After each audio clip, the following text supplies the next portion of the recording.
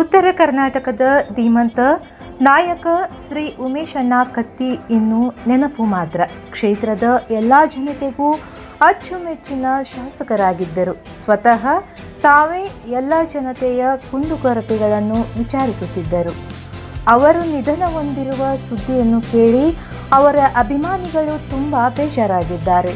ಅವರ ಅಂತಿಮ ದರ್ಶನಕ್ಕೆ ಜನಸಾಗರ ಹರಿದು ಬಂದಿತ್ತು. ಸಾಂಡ್ರಾ ವಿಮಾನ ನಿಲ್ದಾಣದಲ್ಲಿ ಉಮೇಶ್ ಕತ್ತಿ ಅವರ ಪಾರ್ಥಿವ ಶರೀರವನ್ನು ನೋಡಿ ಅವರ ಕಟ್ಟ ಅಭಿಮಾನಿಯಾದ ಬಾಳಾಸಾಹೇಬ್ ಉದಗಟ್ಟಿ ಇವರು ಭಾವುಕರಾಗಿ ರಮೇಶ್ ಕತ್ತಿ ಅವರನ್ನು ಅಪ್ಪಿಕೊಂಡು ತಮ್ಮ ದುಃಖವನ್ನು ತೋಡಿಕೊಂಡರು.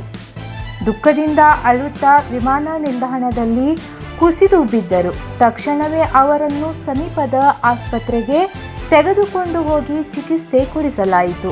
ವೈದ್ಯರ ಪ್ರಕಾರ ಅವರಿಗೆ ಲೋ ಬಿಪಿ ಆಗಿದೆ ಮತ್ತು ತುಂಬ ಒತ್ತಡದಿಂದ ಪ್ರಜ್ಞೆ ಕಳೆದುಕೊಂಡಿದ್ದಾರೆ ಎಂದು ತಿಳಿಸಿದರು.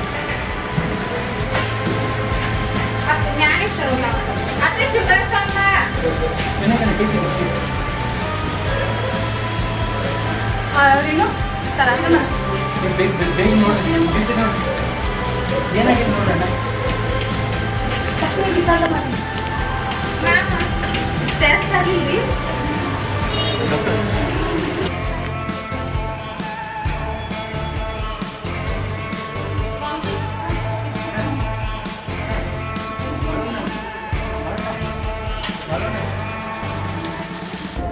ಕರ್ನಾಟಕ ರಾಜ್ಯದ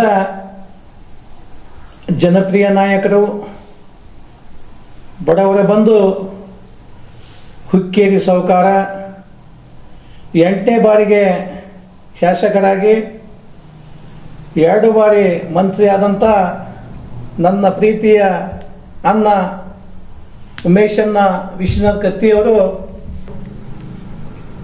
ಅವರ ಹೃದಯಘಾತದಿಂದ ನಿಧನ ಆಗಿದ್ದಕ್ಕೆ ಅವರೆಲ್ಲ ಅಭಿಮಾನಿ ಬಳಗದವರು ಬಹಳ ದುಃಖದಲ್ಲಿದ್ದೇವೆ.